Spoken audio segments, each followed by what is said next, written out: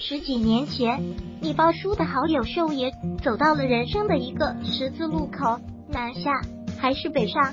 深圳朋友对他说：“南下来深圳吧，这是中国最平等的城市，大家都赤条条来到这里，再穷也可以在富集的城中村落脚，不管有没有深圳户口，死了都能享受一千八百三十元的免费殡葬。”寿爷听说后十动然拒。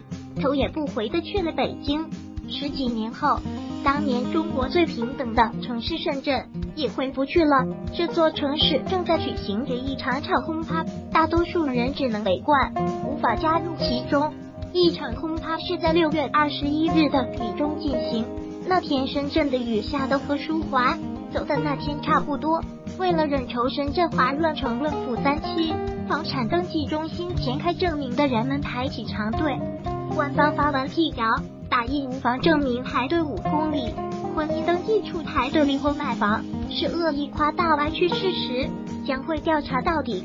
几天过去，官方也没说清队到底排了几公里，这又成了一桩无头公案。七百四十一套千万豪宅，引来六千七百七十六人认筹，摇号中奖率百分之十一。六千多人失望走出摇号处，认筹最多客户认了十五个筹，三千万现金冻结在银行，结果还是没有摇中。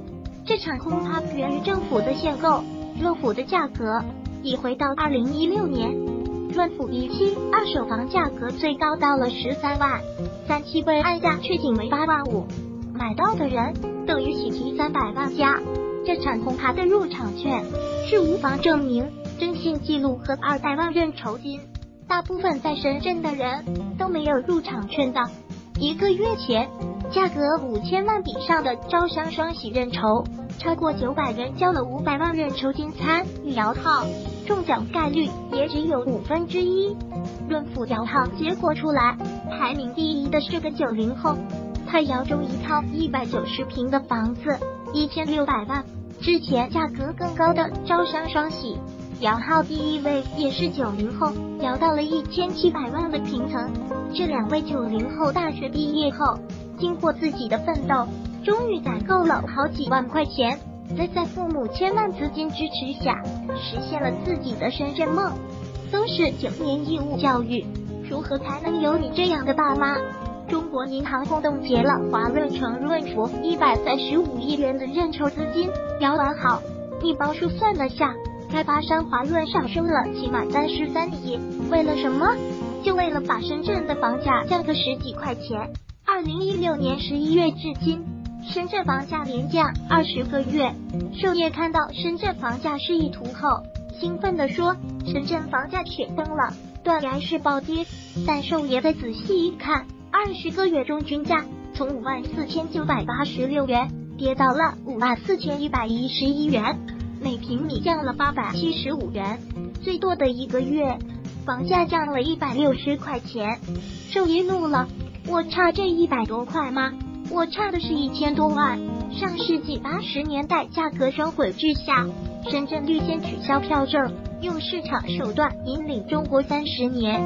三十年后，价格双轨制的北风吹到这里，这座步入中年的城市又回到起点。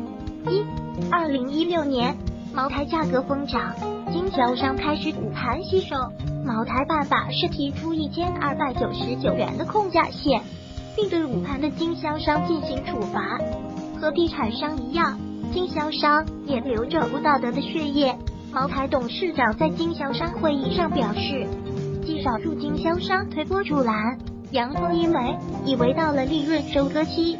主张放开市场调控，赚取的利润达到了几百还不满足，像贩毒一样疯狂，控价不成，茅台又出台了限购，一个账号限购两瓶，物流地址不能重复。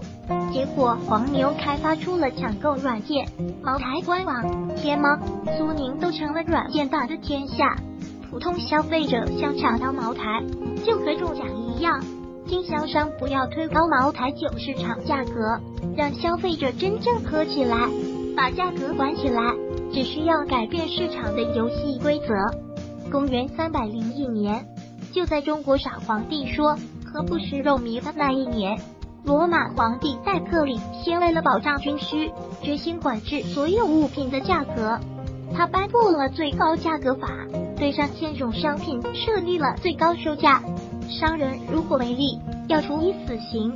一四零零年后，法国大革命领袖罗伯斯庇尔在价格管制方面走得更远，他对面包等粮食设定了最高限价。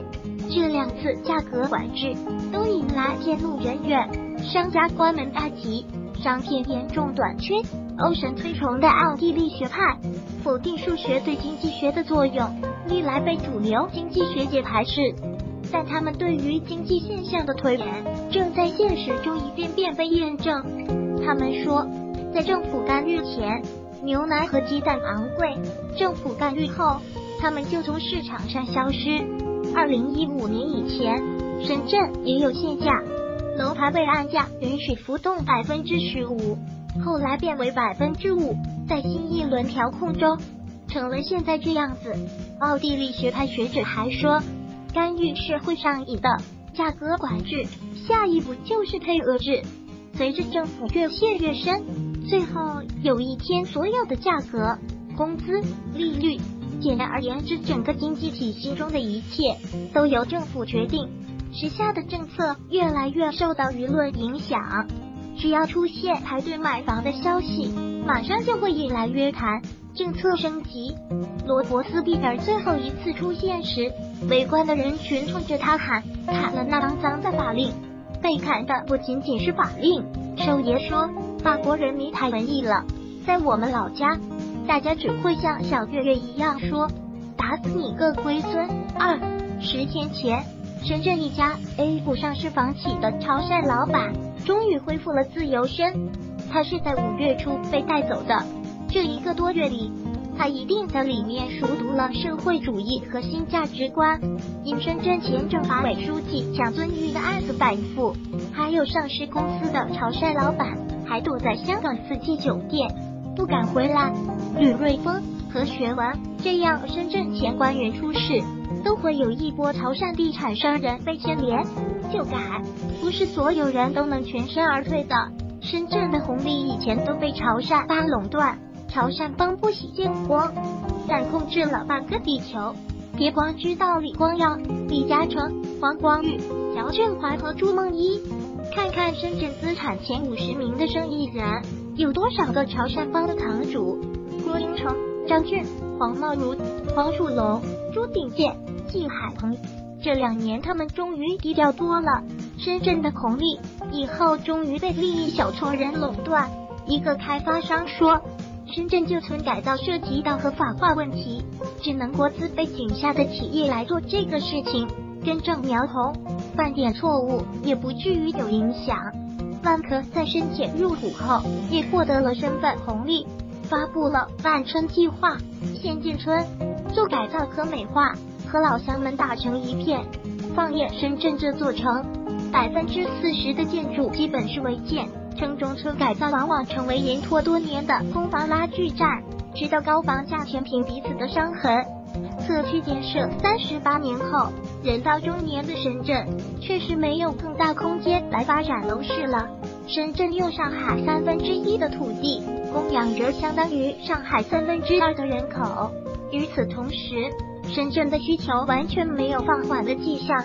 它是一线城市中落户门槛最低的城市。应届本科毕业生有七种方式落户，深圳甚至把秒批第一次写进红头文件。地产商在深圳的好日子早就结束了，就像大庆油田，地下油储量看起来还很多，但是开采难度越来越大，开采成本越来越大。华润这样的国企成为深圳的主心骨。华润城的前身是大冲村，二零零八年。香港扎根的华润集团拿下了大冲村的改造项目，这个城中村占地六十八万平米，聚集了十万人，是全宇宙人口最密集的地方。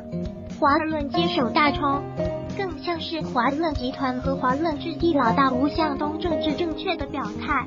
大冲村打破了深圳的补偿传统，所有村民的所有建筑，不论来路，就算违建。都能按一点一万元每平米或同等面积回迁房，统一补偿。大冲村拆迁护理，最终诞生了十个亿元富翁和四百个千万富翁，但这也让华润获得了宝贵的时间成本。华润进入大冲半年，深圳房价一路暴跌，均价不足万元。六年后，润福一期上市，均价却达到四点五万元，拆迁成本靠着楼市暴涨。一把收回来了。深圳木头龙就改，因几户人家没有同意，停滞不前多年。三十多位业主到死都没有等来改造，人生都像一场足球赛，不到最后一秒，你永远不知道自己会被对手以什么样的方式绝杀。华润城项目还有两期，华润前三期首要目标是快速去化，剩下两期才是真正利润来源。华润朋友后来告诉你包叔，华润城项目当时算账还不赚钱，没想到现在成了全华润利润最高的项目。三，二零一八年广东高考作文题目是给二零三五年的年轻人写封信，介绍祖国的发展。深圳早早写好了这封信，没多久他们就发布了一项政策。二零三五年，深圳新增一百七十万套住宅中，商品房只占到百分之四十，大多数房子将是安居房、人才房和公租房。这项纲领式的蓝图被人们叫做二次房改。很多人说，深圳将告别香港地产模式，走向新加坡模式。作为改革开放的前沿阵地，深圳的房改比其他地方早了十年。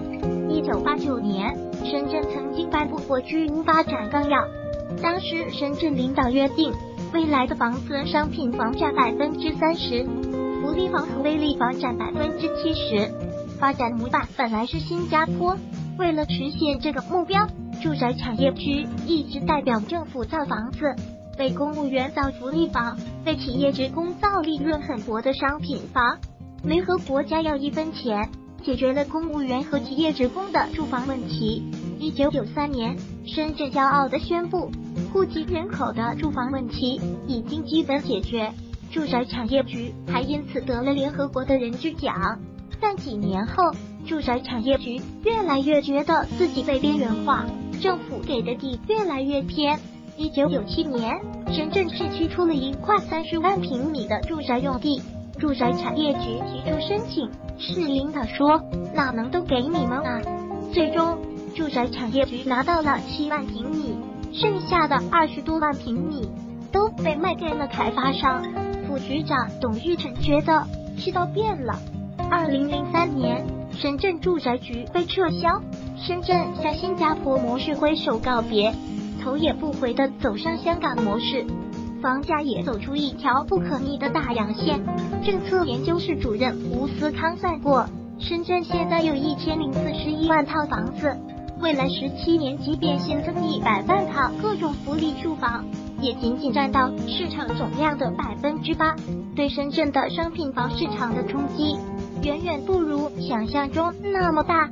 这种结局，早在二零零三年深圳撤销住宅局，坚定的走香港道路时。就已注定，住宅局撤销四年后，一位深圳地产商私下里告诉白刚，房地产利润太高了，挣钱都挣得不好意思了。招商地产一位高管骄傲地说：“深圳蓝溪谷一千一百套房子就能买下伊利集团。”十几年后，这种凭胆气耍流氓拉关系就能发大财的故事都不再会发生了。这座城市。这个行业都遇上了各自的中年危机。十几年后，被当成低端驱逐出北京的寿爷回头看，终于意识到当年没必要纠结北上还是南下这个问题。现实就跟很多女生当年的思考一样，嫁给爱情还是嫁给金钱？但大部分女生最后嫁不了爱情，也嫁不了金钱。麦兜最后的结尾，长大后他拿着包子说。我忽然明白，原来有些东西没有就是没有，不行就是不行。你看这么简单的道理，连猪都懂了，我却还以为世间的一切都该有商量的余地。如果喜欢本视频，请分享并订阅本频道。访问 ttnews 点 xyz 获取更多相关资讯。